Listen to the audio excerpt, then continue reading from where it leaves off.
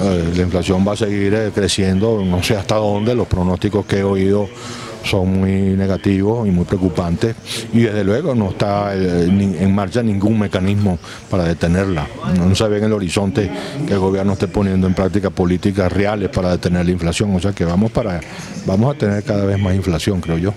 Reconocer explícitamente, oficialmente, una situación como esa tiene un alto costo político para el gobierno que el gobierno no quiere pagar.